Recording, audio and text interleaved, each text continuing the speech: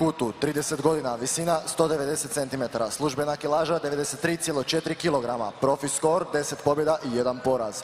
Iz Hrvatske, iz American Top Team Zagreb, dolazi Ivan Erslan!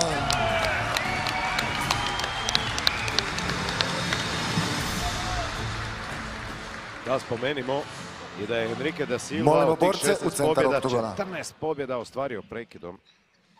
Onda znate o kakvom se opasnom borcu you know the radi. rules. Listen to my commands. When I say stop, you stop. Touch the Veliku gloves, većinu, veliku corner. borbi su finiši i gubi finišima, pobjeđuje finišima. Zadnju borbu je izgubio na taj način da ga uspije protivnik konstantno rušiti, pozicionirati na leđa, zadršavati ga u donjoj poziciji. To je bio možda najlakši put do pobjede. A za Enrique da Silva, da Silva bi bio najlu- najbolja šansa bi bila da primi na bradu, ima tu izdržljivu bradu i onda pokuša zakačiti u nekakvoj izmjeni Erslana. Inače Erslan kompletni borac po meni. Da, trebao bi biti. Vidjet ćemo hoće li Ivan inzistirati na stojci ili će probati rušiti. Stiše odmah to Frankensteina, Frankenstein na stojci. Pokušava low kickovima.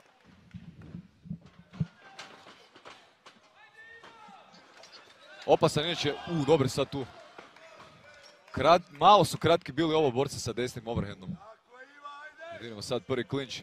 Da, da, Ivan to dobro ga drži sada. Frankenstein žici. inače opasan, oprosti što ste prekinuo. Opasan iz klinča, opasna koljena je pokazao iz klinča.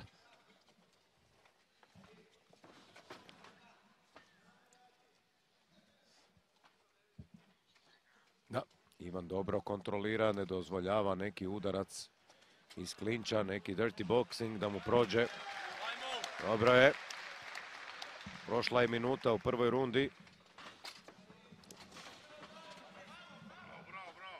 Evo tu, ozdvojili su sad iz klinča. Treba Ivan raditi tim prednjim direktom sa distance. Dobar niski calf kick, ali bacio je lijevi kroše. U, dobra je skivaža sada Ivana.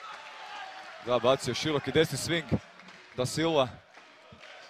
U, dobar desni uppercut Dobra i lijevi kroše. Kombinacija. U, dobro, još jedna desna. Još jedna ide desna. I da! Da I vidimo! kreće po finiš.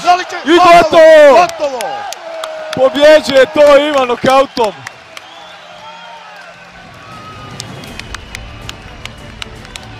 Pobjeda Ivana Erslana. Da Silva se tu žali na rani prekid. Možda je mogao još malo to možda pustiti sudac, ćemo sad na usporenoj snimci. Da, vidjet ćemo još jedan put. Evo vidimo Frankensteina koji je na nogama, koji bi rado da se nastavi ovaj meč. I on bi ga i dalje nastavio. Čim je osjetio da je pogodio tvrdo, Ivan krenuo je na finiš. I uspio ga je rušiti, ali Frankenstein inače dobro bradu ima izdržljivost, izgleda da se na trenutak oporavio u stojci centar oktogona za proglašenje u- pobjednika. na parteru. Borci u centar za proglašenje pobjednika. Saša! Da, moramo vidjeti još jedan put da li je tu bilo šanse na kraju za Frankensteina.